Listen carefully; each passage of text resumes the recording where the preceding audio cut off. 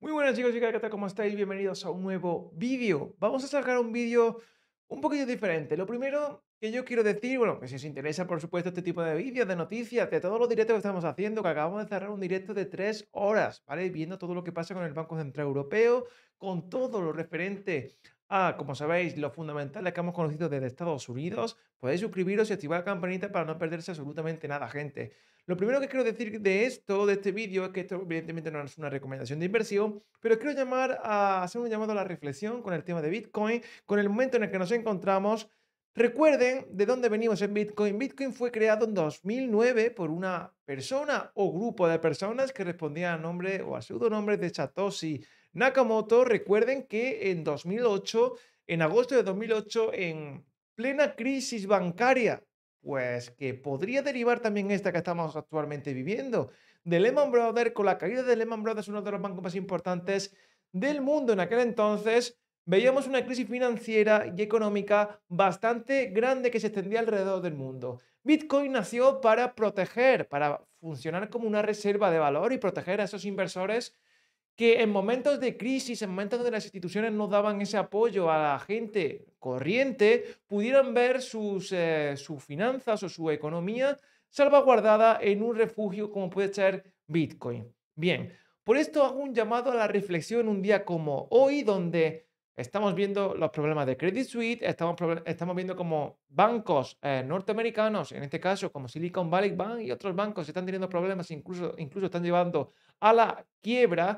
Y en un día como hoy, donde la Reserva Federal, no la Reserva Federal, sino el Banco Central Europeo, disculpen, ha subido 50 puntos básicos los tipos de interés en la zona euro para frenar la altísima inflación, podríamos ver en los próximos días, semanas o meses problemas con los bancos en la zona euro, ya sea por culpa de lo que viene desde Estados Unidos y también con la subida tan agresiva de tipos por parte del Banco Central Europeo. Bitcoin fue creado para estos momentos. Bitcoin fue creado para momentos como este, para actuar como una reserva de valor. Y acabo de ver este artículo dentro de Yahoo, Finance, como digo, que fue em, publicado en el día de ayer y que me parece muy interesante, hablando de que si realmente eh, hablan de, que si Bitcoin es una reserva de valor. Bien, si nos eh, remontamos, como digo, al año 2008-2009, donde fue 2009, enero de 2009, fue creado el primer, o minado el primer bloque de Bitcoin, nos podríamos llevar eh, a que al momento en el, que, en el que nos encontramos, Bitcoin vuelva a ganar protagonismo. De momento recuerden, esto es lo que tenemos en pantalla, estamos muy cerquita de los 25 mil dólares, seguimos estando estables.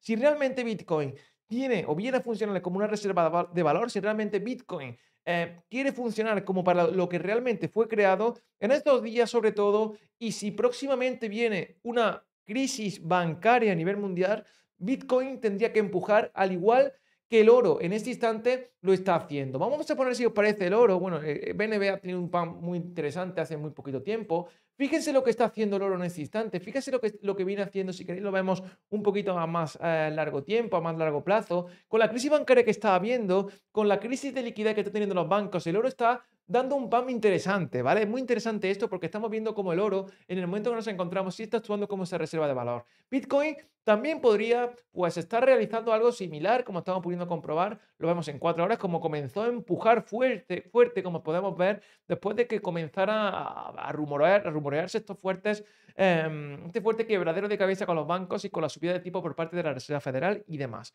Por lo tanto, si Bitcoin quiere, en el momento en el que estamos, como digo, actuar como una reserva de valor, como funcionar para lo que realmente fue creado, Bitcoin debería romper nuevamente hacia arriba si finalmente los bancos no solucionan su problema de liquidez.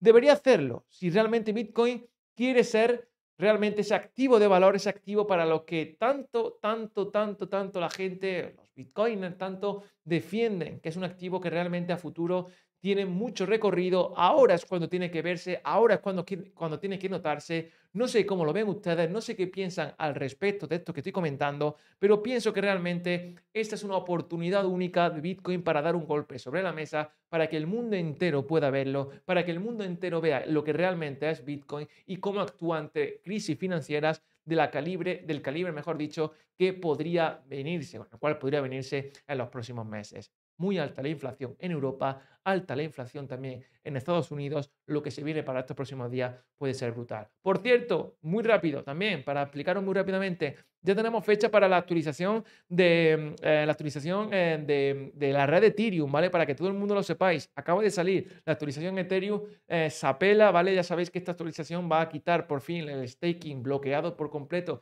de la red de Ethereum y está programada para el día 12 de abril, ¿vale? Lo, lo, digo ya para que todo el mundo lo sepa. 12 de abril, actualización de la red de blockchain de Ethereum, para que todo el mundo sepa también el FOMO ese que puede provocar la, la red. Por lo tanto, gracias a todos por estar en este vídeo, gracias por todos por verlo, gracias por suscribiros, activar la campanita y darle el botón de like. Un saludo gente y nos vemos muy muy pronto.